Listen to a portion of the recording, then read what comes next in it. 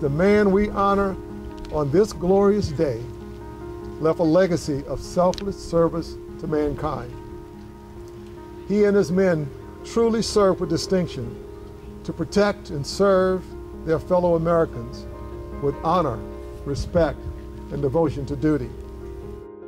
I'm uh, Stephen Rochon. I'm a retired uh, Rear Admiral, uh, U.S. Coast Guard. This weekend, I was invited to the North Carolina Aquarium to uh, speak on Richard Etheridge, a bit about his life, and uh, more so the legacy that he, he left behind. Richard Etheridge was born a slave on the Outer Banks in 1842. During the Civil War, he joined the Union Army and was promoted to the rank of sergeant. Later, he returned to the Outer Banks to serve in the life saving service and was considered one of the best surfmen on the East Coast. In 1880, he was appointed to Keeper of the Pea Island Station, the first African American to hold the position. That station came to be manned by an all black crew, and knowing the extra scrutiny he and his men were under, Etheridge ran his station with military discipline. During a severe storm in October of 1896, the schooner E.S. Newman ran aground just south of the station. Unable to launch their surfboat in the rough seas, the crewmen swam out to the vessel nine times to rescue everybody on board. The captain of the Newman later found the piece of the vessel bearing its name and gifted it to the station as an offering of thanks. This piece currently hangs in the station's cookhouse, which was relocated to Manteo. Stephen Rochon spearheaded the awarding of the Gold Lifesaving Medal to the Pea Island Lifesavers for that rescue, which had been unrecognized by history for 100 years. In an event to commemorate the 120th anniversary of the rescue, descendants of the Pea Island Lifesavers gathered at the historic cookhouse to meet, share stories, and learn more about their ancestors' legacy. The next day, a ceremony to rededicate Richard Etheridge's gravesite was held at the Roanoke Island Aquarium, where the grave is located.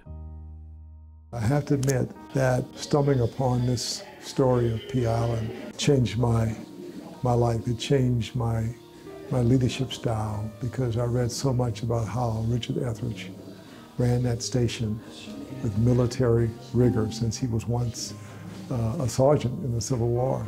And so I followed that legacy. I followed what he passed down that I was able to unearth.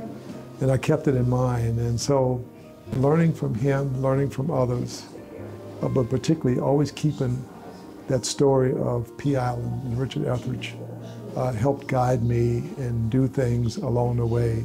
And lo and behold, I was uh, selected and promoted to Rear Admiral in the Coast Guard because of them. Black history is not recorded.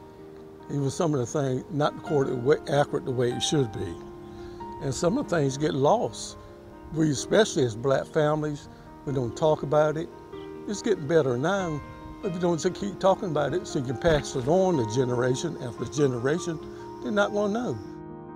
You don't hear these kind of stories that often, especially in the African American community. And I'm sure that there are multitude of stories like my family out there that we just don't know about.